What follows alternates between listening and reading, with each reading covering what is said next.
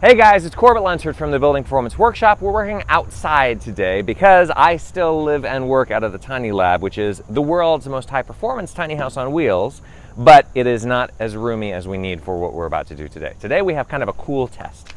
Uh, we have a new client that has challenged us with a strange job, which is the only kind that I enjoy nowadays. Uh, Vencor Inc. Uh, does what's called stellar engraving, and they are making what you can see here, which are HVAC return registers that are very beautiful. They're engraved out of wood. They are the only company that I'm aware of that has wondered to themselves how much air actually comes through my wood uh, return registers. You see wood registers on supply grills sometimes, and you see them uh, out in the field.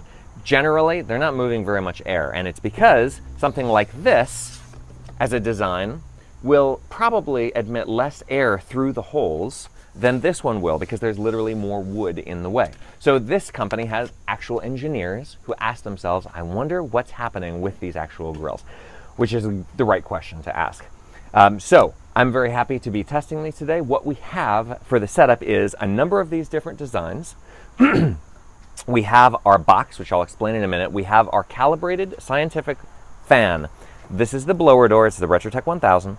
This fan is not just going to induce an airflow, which is important for testing uh, airflows and pressures, but also it's going to be able to measure exactly how much air I am moving. And that is important because if I was to just plug these into any old residential HVAC system, then I wouldn't know how much air was moving through the system in the first place. All I would be testing is the back pressure or the pressure drop that these will introduce. So measuring the resistance is important, but also we're going to go ahead and measure the airflow through them. When we put them onto the system, how much does that affect the fan? So this fan is very important. Now the box that I have manufactured is a cardboard box. What it's going to do is emulate a return plenum, the duct that is between this register and probably the filter that would be in there too, which we're not going to simulate today, and the fan, which will be on the other side of this. Now this box uh, looks good. It's got this blue tape from Thermal-Star, uh, which is an air sealing tape that we use for duct sealing. But just because it looks good doesn't mean it is good. So the first step in today's work is we're going to test the airtightness of this box because that is the most important baseline step. Okay, a little while later, a little bit dirtier, but I have it set up as sexy as is possible when you're running home performance testing out of the back of a pickup truck. So uh, what we have is the box. You can see it's huge. It actually, I found out, could not fit inside my house. Um, it's too big. So there's this, in through the front door, I mean. There is this, it's all taped up. It's taped up with air sealing tape, air sealing for testing. Because if you seal this thing up with tape that you would use for permanently air sealing something, which you can see lots of examples of in the build of the Tiny Lab, uh, you would never get it back off. And the point is, I'm going to have to take this back apart because I need to get this grill back off. So one of the grills is in place, totally sealed up, because the first thing we're going to do is see if my box is actually appropriate to pretend to be a duct system. Uh, all duct systems nowadays have to be airtight. That is a good thing because anybody who says a duct system can leak is not paying attention to things. Air is what is the plumbing of ducts. Sorry, ducts are plumbing for air. And if you think that it's okay for it to leak out all over the place, that's totally insane. All duct systems should be tight. So, tight. Uh, we have some air testing equipment, which I'm going to get into in a minute here. I'm not going to talk about that right now. But around on the other side of this, you can see, first of all, we have our test port. You could call it a hole. It's a test port. That's the sexy term for it. This is a static pressure probe. One of the things we're going to be measuring is a pressure drop that this uh, grill is going to introduce. And I have the static pressure probe in there. Very important that this particular piece of equipment is there. And here we have our blower door. Now, the blower door is set up right now with the absolute smallest rings possible. That means on the 1000 model, I have all the plugs in place, and the only things that are open are those four tiny little holes in the middle. Uh, I am monitoring the static pressure on channel A, and on channel B, we're going to be measuring the flow through the fan. What I want to see is when I put this duct system under 25 pascals or one tenth of an inch of water column, I want to see no leakage at all. So let's go ahead and run this real quick. I'm going to set my speed to 5%. And you can see here, we spiked way up above 25 pascals. It's working its way back down. By the way, I knew it was 5% because I tested it beforehand. Oh, 4% got a little bit better. Okay, so I'm at 4%, 25 pascals ish. And you can see there is nothing happening on the airflow side. There's basically no air coming in and out of this thing right now with it all taped up. That's good. Now we can move forward with the actual test of these return grills. We think that a storm might be coming, so we're gonna try and push through this. This is one of the hazards of working outside. By the way, another hazard of working outside in my current life is that I got punched in the face yesterday with a chainsaw by myself. So isn't my life cool?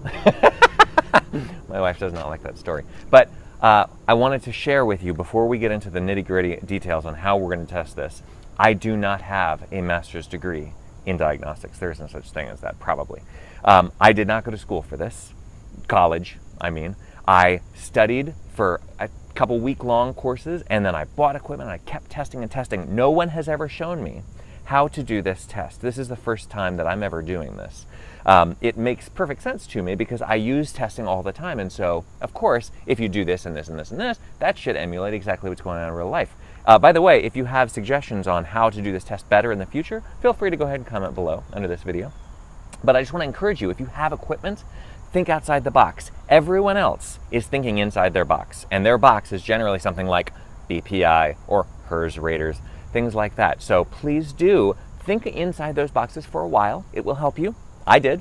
But now I think outside the box all the time, and that's where I'm most comfortable and happy because I know that somebody who's an industrial hygienist is not the best person for your client to consult on a home odor issue. Don't even bother trying to send them up the chain. You are at the top of the ladder if you have this equipment in homes. So, here's the nitty gritty. First of all, we have this equipment in my hand. Um, this is the Dwyer uh, air quality test kit. It's awesome. It's all Bluetooth.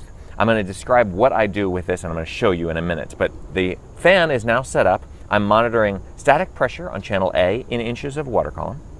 And we're monitoring flow on channel B. Now I have opened up all of the plugs on the C ring of my Retrotec 1000.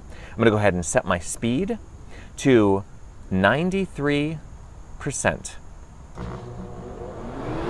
And you can see what will happen is that we run what is essentially a four ton air conditioner. We get about 1600 CFM. So when we are at 1600 CFM, and it'll start to back off hopefully a little bit, uh, I might have to turn this down one to 92%, but we want to try and hit that as on the money as possible so that we are hitting an actual 1600 CFM. That's 400 CFM per ton. So what we're going to do is test these grills at three different stations. I'm testing them for a two ton system, a three ton system, and a four ton system. That's 800 CFM, 1200 CFM, 1600 CFM. We're starting at 1600. Now I'm going to get it down to 91%. We're going to end up right around 1600. What I want to see is, first of all, how much static pressure buildup is inside my box. The box itself is creating 0.04 inches of water column of resistance. And we've got about 16 1620, we're going to call that number on B. Now I'm going to go ahead and move you through this because we could spend all day trying to dial in exactly, which is what I will do for my clients in two seconds here once I'm done showing you. But once I get that to say 1600, what I want to do is take my grill and put it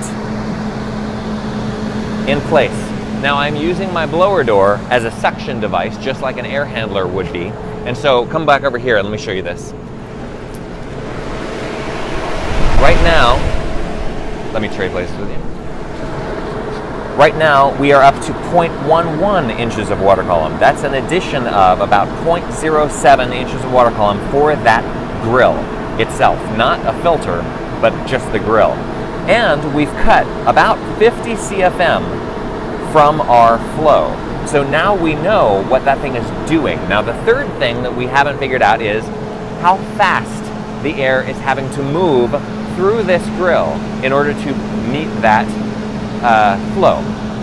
So obviously we only have this much free space and I'm going to go ahead and take a, a sample measurement across this entire grill and we're averaging somewhere without taking an actual sample just for the speed of this uh, video around 850 feet per minute. That's pretty fast for a return register. Generally, you want them to be a little bit slower so you don't make a hissing sound because no matter how much duct there is between this thing and the fan, if it's moving that fast, you may hear it a lot more. So we would want several of these things in place around the house, not just one for this size of an air conditioner, a four ton air conditioner. So now you can see how you can start to do all kinds of crazy stuff with the equipment that you have, your blower doors, your air quality testing equipment. Think outside the box, learn to do weird stuff for your clients because there are all kinds of people out there who are looking for people who can tell them how the universe actually works. That's what basically every specialty is. So, thank you very much for watching. Please do comment below if you liked this, subscribe to the channel, check out our uh, general website, Building Performance Workshop, all kinds of training videos and things like that inside of that website. I hope that you tune in next time.